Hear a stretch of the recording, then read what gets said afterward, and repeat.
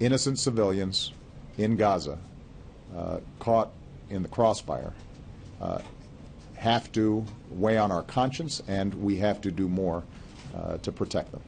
Uh, a ceasefire was one way in which we could stop the killing,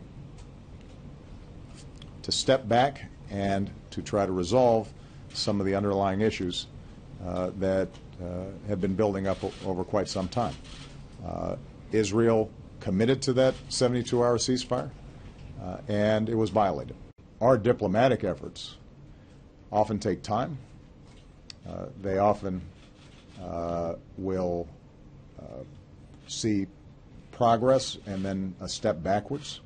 Uh, that's been true in the Middle East. That's been true uh, in Europe. That's been true in Asia. That's that's the nature of, of world affairs. It's not neat and it's not smooth.